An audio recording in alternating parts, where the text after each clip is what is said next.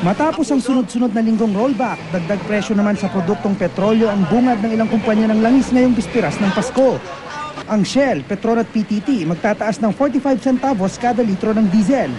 60 centavos kada litro naman ang itataas ng presyo ng kerosene ng Petron at Shell.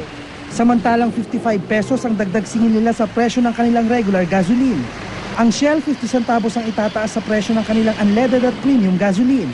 Ganon din naman ang itataas sa presyo ng premium gasoline ng Petron, pati na rin ang regular gasoline ng PTT. Di naman ipatutupad ang price hike sa mga produkto ng Petron sa Davao Oriental at Compostela Valley na lubhang sinalanta ng bagyong Pablo rito. Good news naman sa mga motorista. Bilang pamasko, hindi maniningil lang toll sa lahat ng upgrade at elevated roads. Ang Skyway, South Luzon Expressway at Star Toll mula alas 10 mamayang gabi hanggang alas 6 ng umaga bukas. Para naman sa pagsalubong sa bagong taon, libre din ang toll sa Skyway, SLEX at Star Toll mula alas 10 ng gabi ng bisperas ng bagong taon hanggang alas 6 ng umaga sa unang araw ng 2013.